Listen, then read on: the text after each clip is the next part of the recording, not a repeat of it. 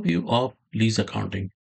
So Oracle Fusion Lease Accounting Cloud has got many great features which simplifies the lease management.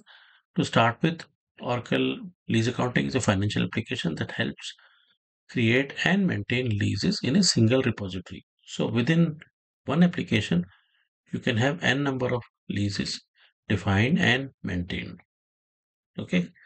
And you can search those leases and you can execute payments for those leases or one or more leases and you can basically play around and maintain your leases in one single repository.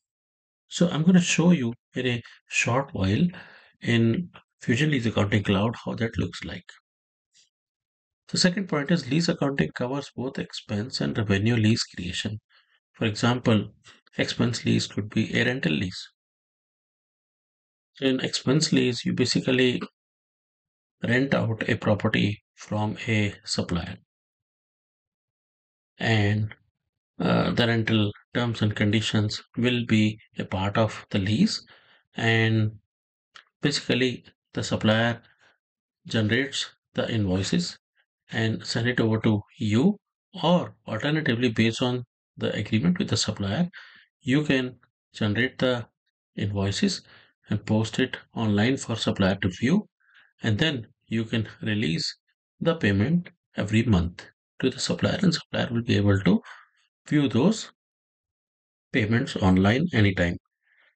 Okay so basically that uh, includes an integration with oracle Fusion Lease Accounting Cloud, wherein the lease will be uh, defined and maintained, and then the lease payment schedule will also be maintained there.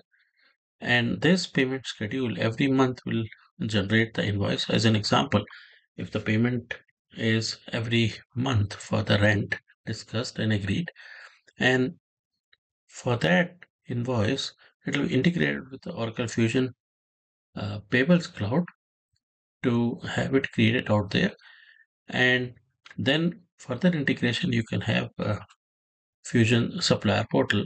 Wherein supplier can log in and view those invoices. And once you process the payment against those invoices supplier will be able to see those payments as well. Okay?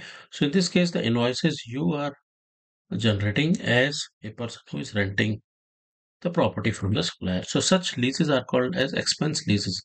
So this is expense lease for a property. So you can also define expense lease for an equipment. Equipment in the sense, for example, you can rent an equipment such as a forklift or maybe a maybe a tipper truck from a supplier.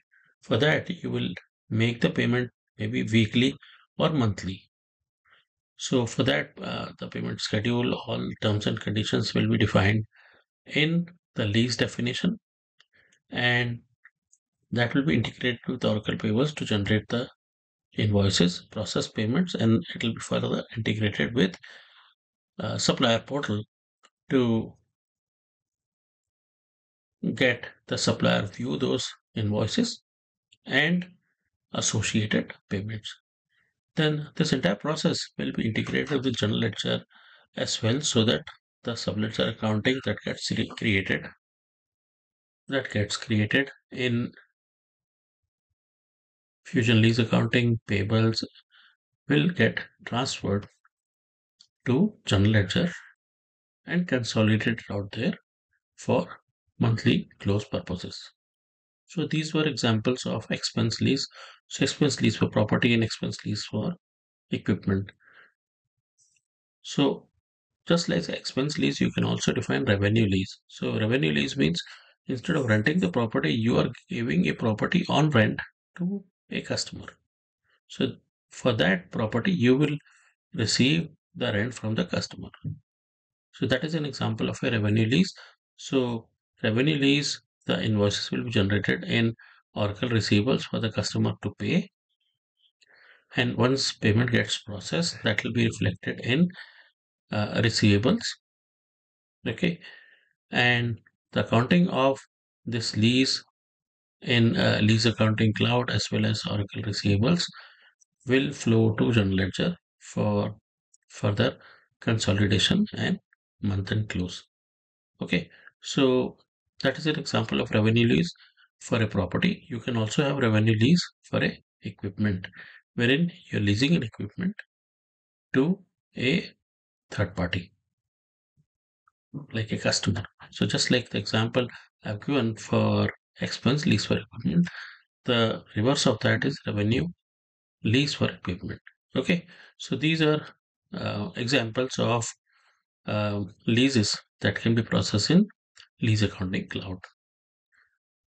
Now, the when we come to lease accounting, it basically provides the ability to capture information as a part of the lease definition, which includes the lease details, assets. So the assets that you are going to rent from a supplier or the assets that you are renting it out to a customer.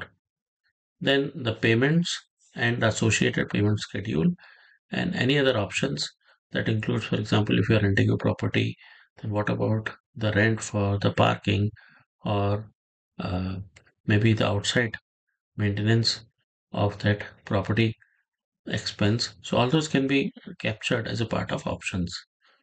So calculation of accounting schedule, creation of milestone rights and obligations are also available. So these are optional information, but you can capture that as well as a part of the lease definition. Then once you define all these details as a part of a lease definition, then you run the validation process, which ensures the quality of the data before activation. So it validates everything to ensure that all the data is correct and nothing is missing. The amortization engine calculates the present value of the leases. So any point of time, if you want to know what's the present value of the lease, then it calculates that and show you as a part of amortization engine. So I'm going to go into Oracle Fusion Lease Accounting Cloud. I'm going to show you that and you have got another point out here, a related point pertaining to amortization.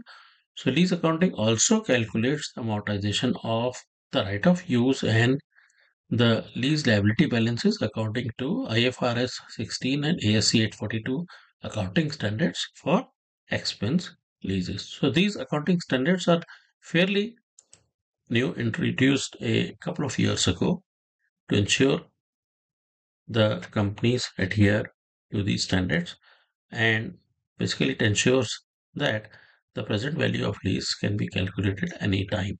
Okay so that's one of the features of these uh, accounting standards but there are more to that we can discuss as a part of this course. So anyway i'm going to jump onto fusion lease accounting cloud and we'll understand all these points out there in the gui so just logged in into fusion lease accounting cloud and logged in as Fanta Chabara, who is the administrator of the leases. So you can call it as a lease administrator. And you can see about the application. So we are on release 13 with a version of 25C. Okay. Now, in order to go into Fusion Lease Accounting, you've got to go from the dashboard and look for lease accounting. Yeah, over here. So click on that and go to leases. okay and now here you can search the leases so give the business unit choose that and then lease type as an example expense lease and then lease you can also give a legal entity over here if you like.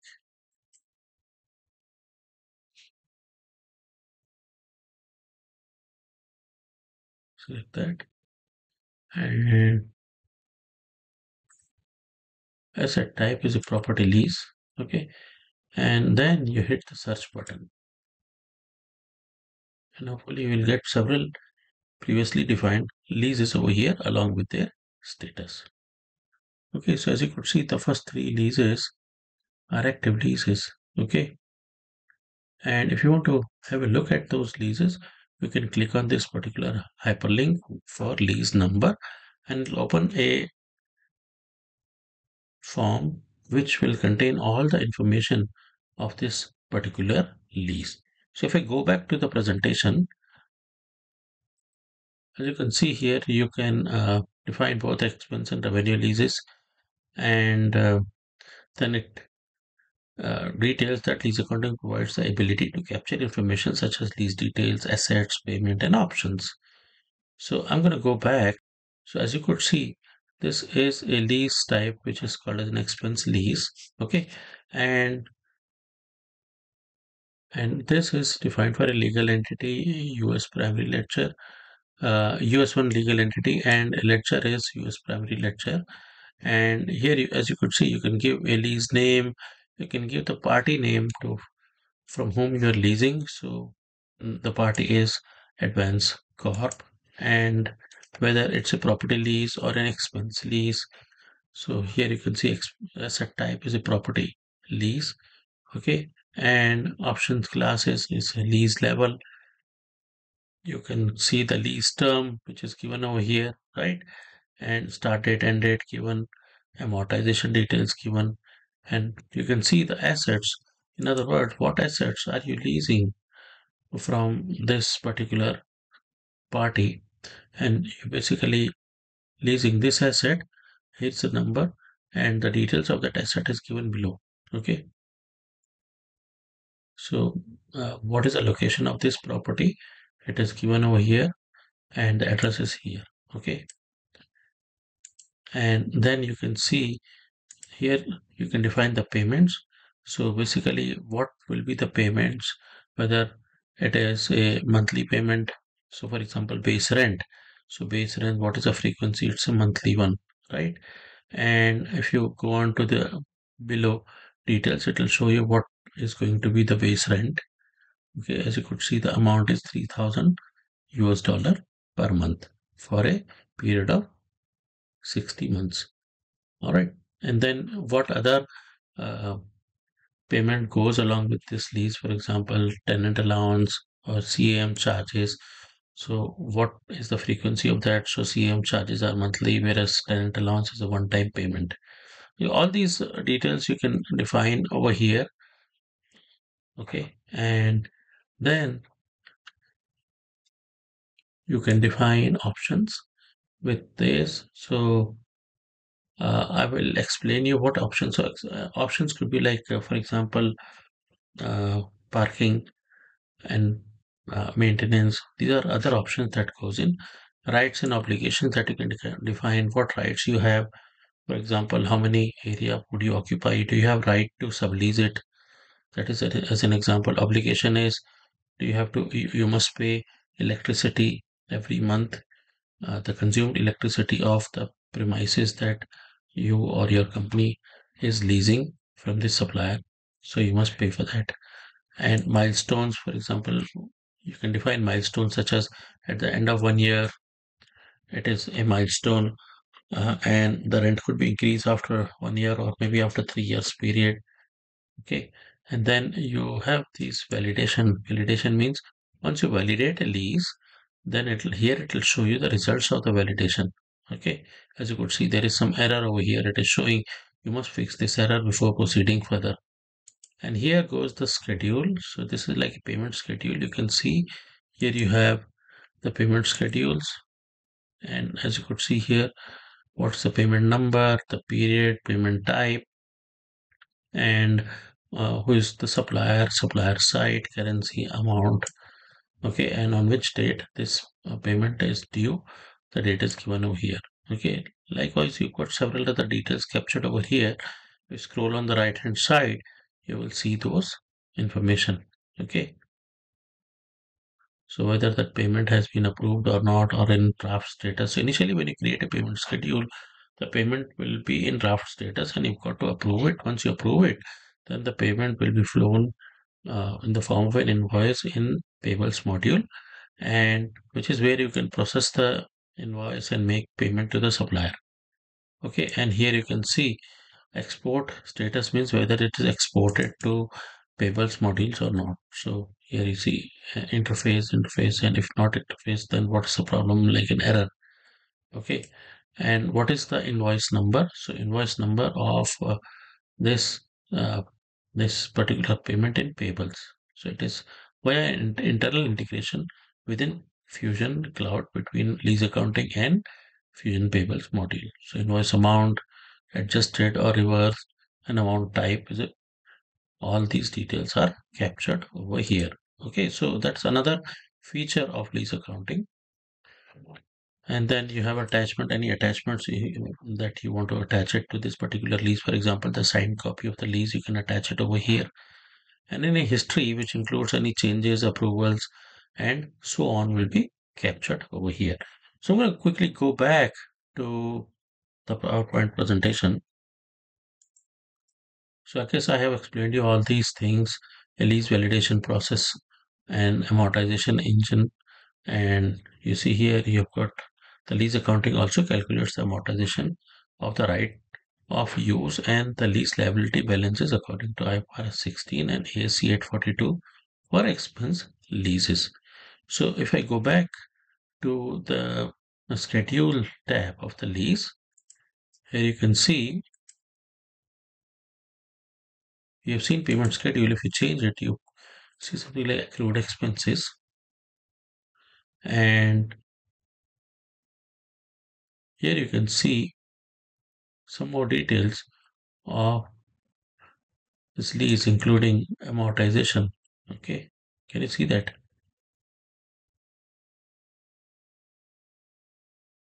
Okay, and here you can see this uh, this record is of what type, whether uh, it's ASC 842 accounting standard or IFRS 516 standard. So, so this is one of the required feature that is also incorporated as a part of Fusion Lease Accounting Cloud.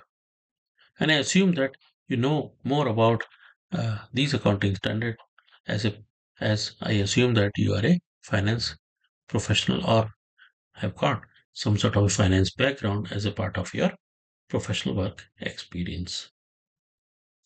So I'm going to go back to the PowerPoint presentation. We'll cover the remaining topics. So I'm going to go to the next slide and here you see the new accounting standards introduced in past few years have transformed accounting rules that lessees must follow to comply. Lease accounting has the following features in relation to this. It will basically help you manage and process leases to comply with IFRS 16 and ASC 842 or both these accounting standards in a touch-free and seamless manner. And that's what I have just shown you. Those amortization schedule gets generated automatically uh, as a part of your lease.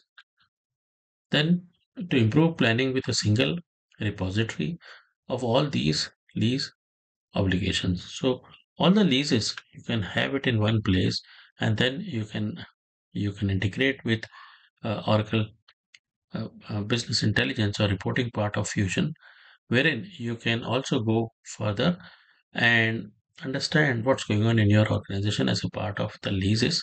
If it's a very huge organization you would know what leases are there in terms of expense and revenue what leases are uh, generating uh, how much of revenue and you can see where your uh, money is flowing out and how your money is planning uh, coming in in relation to these leases and basically uh, that will finally helps you uh, to generate the calculation for balance sheet and expenses. In fact the system do it automatically as a part of fusion lease accounting cloud.